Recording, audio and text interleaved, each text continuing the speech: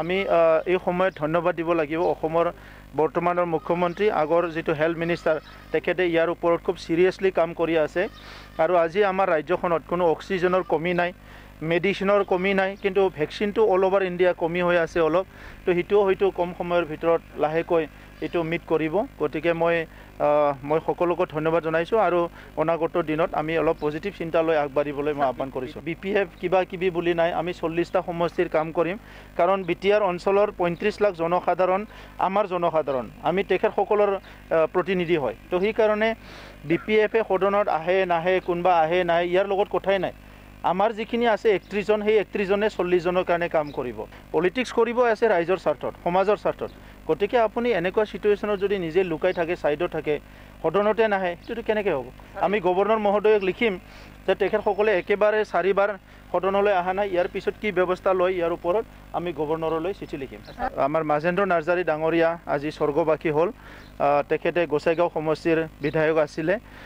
মই তেখেতৰ যিটো স্বৰ্গবাসী আত্মা ইয়াৰ কাৰণে প্ৰাৰ্থনা কৰিছোঁ। তেখেতৰ স্বৰ্গত যাহাতে শান্তিত থাকিব পাৰে আৰু ইয়াৰ লগতে তেখেতৰ পৰিয়ালবৰ্গলৈ মই সমবেদনা জ্ঞাপন কৰিছোঁ দুখৰ সময়ত আৰু আমি তেখেতসকলৰ পৰিয়ালৰ লগত আছোঁ। আজি আমাৰ মন্ত্ৰী ইউ জি ব্ৰহ্ম ডাঙৰীয়া ভিজিট কৰিছে। মই যোৱাকালি নিজে তেখেতক হস্পিটেলত যাই ভিজিট কৰিছোঁ। সেই সময়ত তেখেতৰ ষ্ট্ৰক হৈ আছিলে আৰু ডক্টৰে কোৱাৰ পিছত আমি ভিজিট কৰিছোঁ। মুখ্যমন্ত্ৰী ডাঙৰীয়া ভিজিট কৰিছে আৰু তেখেতৰ যিটো ক্ৰিমিশ্যন হ'ব তাত আমাৰ এম এল এসকল থাকিব।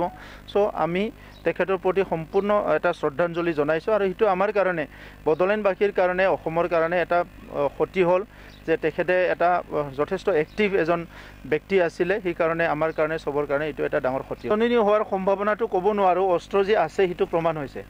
আৰু আমি আগৰ পৰাই কৈ আছোঁ বি টি আৰটো অস্ত্ৰমুক্ত হ'ব লাগে। আমাৰ একমাত্ৰ টাৰ্গেটে আছিলে কি বি টি আৰটো হিংসা আৰু অস্ত্ৰমুক্ত হ'ব লাগে। সেইকাৰণে দুই হাজাৰ বিছ চনত চুক্তি হৈ গ'ল। চুক্তি হোৱাৰ পিছত আমি চবেই লাগি আছোঁ এতিয়া শান্তি প্ৰতিষ্ঠা হ'ব লাগে শান্তি চিৰস্থায়ী হ'ব লাগে। দুজনমান যুৱকসকলে বন্দুক লৈ সমাজখন আৰু ইনষ্টেবল কৰাটো আমি নিবিচাৰোঁ। তো সেইকাৰণে আজি যোনে নহওক কিয় আজি বন্দুক লৈ যদি কোনোবা সমাজখন এগেইন এটা কেও চিটুৱেশ্যন কৰিব বিচাৰিছে সেইটো দুৰ্ভাগ্যজনক কথা। আলফা আৰু চৰকাৰৰ মাজত আলোচনা হ'ব লাগে সেইটো আমি বিচাৰোঁ। শান্তি প্ৰতিষ্ঠা হ'ব লাগে সেইটো আমি বিচাৰোঁ। আৰু আজি ভাৰত চৰকাৰ অসম চৰকাৰে সদায় পজিটিভলি এটা কৈ আছে কি কোনোবা যদি আলোচনা কৰিব আহে সেইটোতো কোনোদিনে বাধা নিদিয়ে। গতিকে আজি আলফাৰ লগত আলোচনা হ'ব লাগে সমস্যা সমাধান হ'ব লাগে অসমত চিৰস্থায়ী শান্তি প্ৰতিষ্ঠা হ'ব লাগে আৰু অসমখন ভাৰতবৰ্ষৰ ভিতৰত এখন উন্নত ৰাষ্ট্ৰ ৰাজ্য হিচাপে গঢ় দিব যিহেতু আমাৰ মুখ্যমন্ত্ৰী ডাঙৰীয়াই বিচাৰিছে। তেনেকুৱা এটা অনুকূল এটা পৰিৱেশ আমি চবে মিলি গঢ়িব লাগে।